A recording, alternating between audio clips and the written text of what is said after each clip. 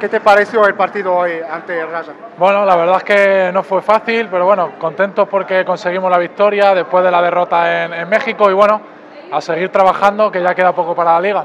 Muchas paraditas ¿eh? ¿ah? para ti. Bueno, sí, la verdad es que he tenido trabajo, pero bueno, contento también por, por mis compañeros que han intentado hasta el final y bueno, en el 87 hemos conseguido la victoria. Esta temporada va a ser diferente con Ruby, con la llegada de muchos jugadores.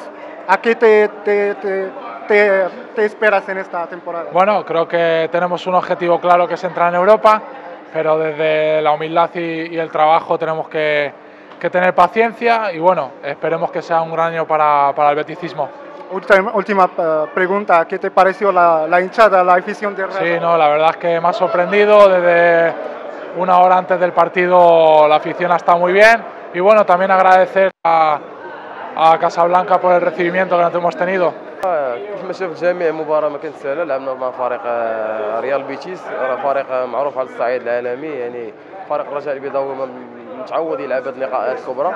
كيف ما شاف الجميع يعني الاستحواذ ديال الكرة كانت عند فريق الرجاء البيضاوي. جاونا عدة محاولات ما قدرناش باش نستطيعوا نسجلوا من شي هدف. الحمد لله هذه المباراة غادي نساوها. ناخذوا منها الإيجابيات ديالها ونخدموا على السلبيات إن شاء الله. يعني من بعد المقابلة غادي تكون عندنا مقابلة ديال عصبه الأبطال. أنا غادي ندخلوا في داك الشيء اللي اللي صحيح إن شاء الله يعني هذا الموسم ما غاديش يكون سهل بحكم فريق الرجاء البيضاوي كيلعب على أربعة الواجهات. كما كتعرف إلا بغيتي تربح الألقاب يعني خصك دير كل ما في جهدك في هذا الموسم إن شاء الله. يعني الحمد لله الفيكتيف دابا تجمع. كيف ما قلت لك غادي نساو المقابلة إن شاء الله ونحضروا في المباراة ديال العصبة اللي هي ما غاديش تكون مباراة سهلة.